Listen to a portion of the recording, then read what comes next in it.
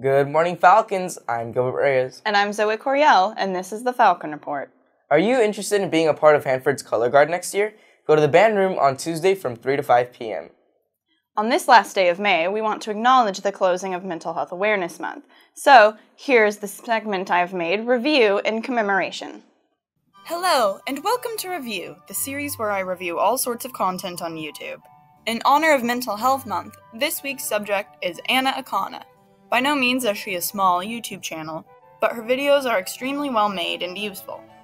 While she does do a number of short films, primarily her content is semi autobiographical, and she focuses on making short videos about being a better person, developing better habits, and bettering your mental health. They're very funny and well made, with short skit segments, where she usually plays the parts, and very interesting and well done graphics. She's an active channel too, and makes videos pretty consistently, about twice a month.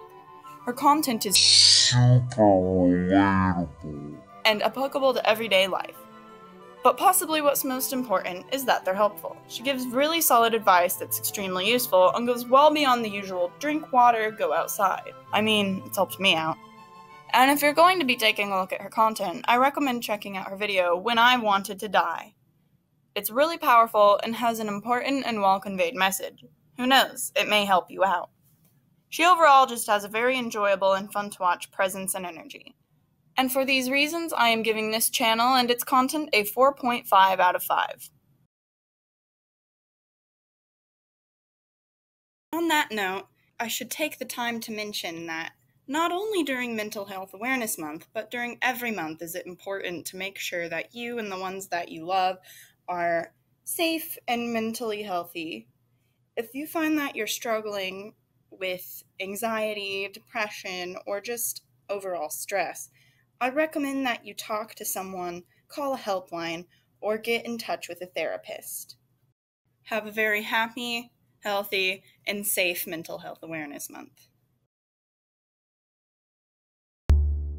Welcome to Riddle Me This. Here is your riddle for today.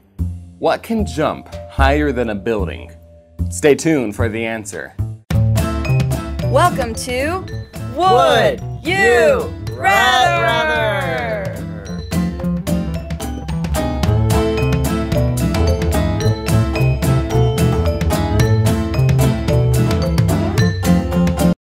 I think I'd rather speak French just because it seems more useful because they speak it in Canada and that's closer than the nearest German speaking country, which I think is Germany. I would rather speak German because I really want to move to Switzerland when I grow up, just because I think it's a really interesting country and they mainly speak German. Mm, Sprechen Sie Deutsch? Because I learned German in high school and I've forgotten most of it, so I want to learn it again. I'm moving around too much, aren't I? Never be stressed because when you're stressed out, then you can't sleep and you're also tired, so it seems like you're just like kicking two and one, you know?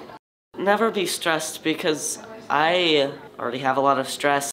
Never be tired. I have little kids that they run around constantly and I'm constantly tired, so.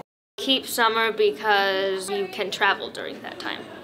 Have four day school weeks just because school is like the only time that I see my friends, so it'd be nice to see my friends, but also longer weekends would be nice. I want my summer vacation so I can enjoy my family rather than just being at school. Welcome back to Riddle Me This. The answer is, well, anything. Buildings can't jump. Thank you for joining me today, and peace out.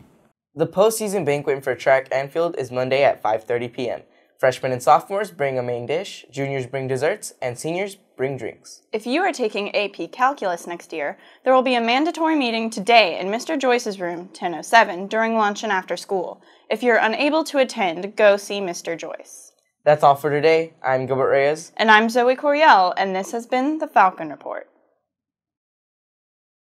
I pledge allegiance to the flag of the United States of America and to the republic for which it stands, one nation, under God, indivisible, with liberty and justice for all.